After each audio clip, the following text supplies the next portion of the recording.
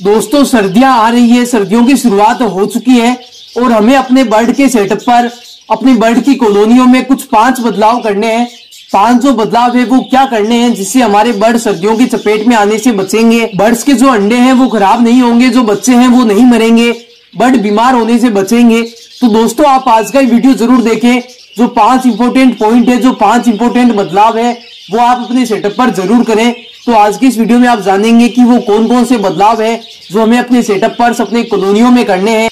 अगर आपको मेरे द्वारा बनाए गए हर एक वीडियो देखने हैं तो चैनल को सब्सक्राइब करके बेल आइकन को प्रेस करें। चैनल को सब्सक्राइब करने का कोई भी पैसा नहीं लगता। इससे आपको ये फ़ायदा होगा, जब भी मैं कोई नया वीडियो अपलोड करूँगा तो उसकी नोटिफिकेशन सबसे पहले आपके मोबाइल फ़ोन तक आएँगी और आप उस वीडियो को सबसे पहले देख सकेंगे।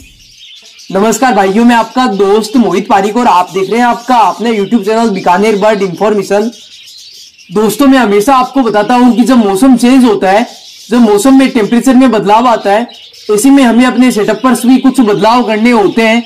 उन बदलाव करने की क्या क्या ज़रूरत है, किस तरीके से कब हमें वो बदलाव करने हैं तो वो आज के इस वीडियो में आप जानेंगे।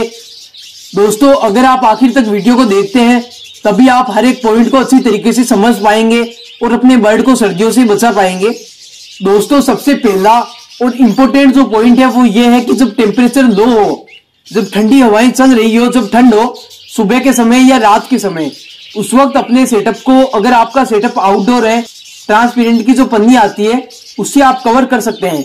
या जिस तरीके से मैंने तिरपाल लगा रखे हैं, वो आप तिरपाल भी लगा सकते हैं। इससे आपके बर्ड के सेटअप में रोशनी तो रहेगी, लेकिन जो डायरेक्ट हवाएँ हैं, जो ठंडी हवाएँ हैं, वो नहीं लगेगी। इसके अलावा दोस्तों, अगर ज़्यादा ठंड है तो आप कंबल का भी इस्तेमाल कर सकते हैं। पहले आप जाली पर कंबल लगाएँ, उसके बाद आपको तिरपाल लगाना है। सबसे पहला इंपॉर्टेंट पॉइंट है, आप अपने सेटअप को कवर करें और उसके साथ ही अपने सेटअप को पानी से ना धोएँ। अगर आप अपने सेटअप की सफ़ाई करना चाहते हैं तो सूखी सफ़ाई कर सकते हैं। सभी कचरे को आप साफ़ कर सकते हैं। दूसरा और सबसे इंपॉर्टेंट पॉइंट अगर काफ़ी ज़्यादा ठंड है, आपके सेटअप को कवर करने के बाद भी सेटअप के अंदर ठंड रहती है तो आपको जो एलईडी बल्ब है, उन्हें हटा देना है। उसकी जगह कांच का बल्ब लगाना है, जो कि हीट उत्पन्न करता है। आप अपने सेटअप के हिसाब से अलग अलग वोल्टेज के जो बल्ब आते हैं अलग अलग वाट के जो बल्ब आते हैं, वो लगा सकते हैं। जैसे कि 25 वाट का 60 वाट का 80 वाट का 100 वाट का 200 वाट का, इस तरीके के बल्ब आते हैं। आप अपने सेटअप के साइज़ के हिसाब से, जिस तरीके से मेरे बजीज पैरेट की कॉलोनी है, इसमें मैं 100 वाट का बल्ब हमेशा लगाता हूँ तो वो मेरे बजीज पैरेट के लिए सफिशियंट है, इस कॉलोनी के लिए सफिशियंट है। इस कॉलोनी का टेम्परेचर बिल्कुल मेंटेन हो जाता है कॉलोनी में ठंड नहीं रहती, और मेरे सभी बर्ड काफ़ी ज़्यादा खुश होते हैं बल्ब लगाने के बाद। तीसरा पॉइंट जो मिट्टी के बर्तन थे, जिनमें हम अपने बर्ड को पानी दे रहे थे, उन बर्तन को आप हटा दें, क्योंकि मिट्टी के बाउल में पानी काफ़ी ज़्यादा ठंडा होता है। इसी में सुबह जब अपने बर्ड पानी पीते हैं, रात का ठंडा पानी तो वो जो पानी है, वो काफ़ी ज़्यादा ठंडा हो जाता है। इसी में अपने बर्ड को जुकाम होता है। हम सोचते हैं कि भाई, हमने बल्ब भी लगा रखा है और अपने सेटअप को भी कवर कर रखा है, फिर भी हमारे बर्ड को जुकाम हो रहा है, बर्ड सुस्त बैठ रहे हैं। तो उसकी वजह है वो पानी। उस मिट्टी के बाउल को आप हटाएँ उस जगह आप प्लास्टिक का बाउल लगाएँ और दिन में आपको दो बार नीम गर्म पानी अपने बर्ड को देना है। रात को आप अपने सेटअप का पानी निकाल दें और सुबह जल्दी मॉर्निंग में आप अपने बर्ड को नीम गर्म पानी दें। चार नंबर पे जो सबसे इंपॉर्टेंट पॉइंट है, जो सबसे इंपॉर्टेंट बदलाव है, जो कि आपको करना काफ़ी ज़्यादा ज़रूरी है। आप सोचेंगे कि भाई हमने सेटअप पर बल्ब लगा रखा है, सेटअप को कवर कर रखा है, हमने प्लास्टिक का बर्तन भी दे रखा है, फिर भी हमारे बर्ड के बच्चे क्यों मर रहे हैं? बर्ड को क्यों जुकाम हो रहा है? फीवर हो रहा है? दोस्तों, आपको करना यह है चौथा बदलाव कि जो आपने कॉलोनी में मटकियाँ लगा रखी है, जो ब्रीडिंग बॉक्स लगा रखे हैं, उनके अंदर बुरादा वुड सेविंग ज़रूर डालें, क्योंकि सर्दियों में मटकियाँ ठंडी हो जाती है। जब काफ़ी बार बल्ब ऑफ़ रहता है, ऐसे में मटकियाँ ठंडी होती है। मटकियों के अंदर का जो टेम्परेचर है, वो चेंज होता है। जब बल्ब जलता है तो गर्म रहती है मटकियाँ, और जब बल्ब नहीं जलता तो मटकियाँ ठंडी हो जाती है। इसी में अंडे भी खराब हो सकते मटकियों में निकले बच्चे भी मर सकते हैं। और यहाँ तक कि मटकियों में अंडों पर बैठी फीमेलें भी मर सकती हैं। तो आप अपनी बर्ड की मटकियों में ब्रीडिंग बॉक्स में बुरादा वुड सेविंग ज़रूर डालें। इसके अलावा पांचवा और सबसे इम्पोर्टेंट पॉइंट ये है, आप जो अपने बर्ड को डाइट दे रहे हैं, उसमें आप ध्यान रखें कि कोई भी ठंडी चीज़ आप अपने बर्ड को नहीं देंगे। ठंडी में ऐसे है कि किसी भी तरीके की सब्ज़ियाँ। और इसके अलावा पालक, पुदीना, धनिया, मेथी, बथुआ ये सब अगर आप देते हैं अपने बर्ड को तो धूप निकलने के बाद और थोड़ी देर ये सब धूप में रखने के बाद आप अपने बर्ड को देंगे। काफ़ी बार हम ठंडा अपने बर्ड को दे देते हैं, ऐसे में अपने बर्ड बीमार होने लगते हैं, मरने लगते हैं।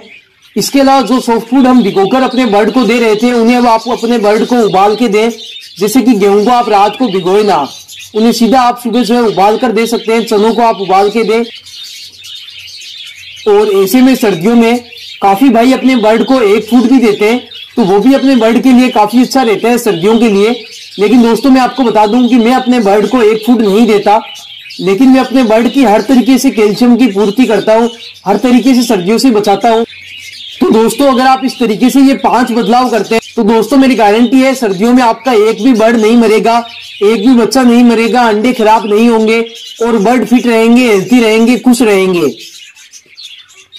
दोस्तों, अगर आपके सेटअप पर अच्छी तरीके से धूप निकलती है उस समय आप अपने सेटअप की पन्नियों को, तिरपाल्स को हटा सकते हैं। इसके अलावा सुबह जल्दी और रात को। इंपोर्टेंट है कि रात को आपको अपने सेटअप को अच्छी तरीके से कवर करना है।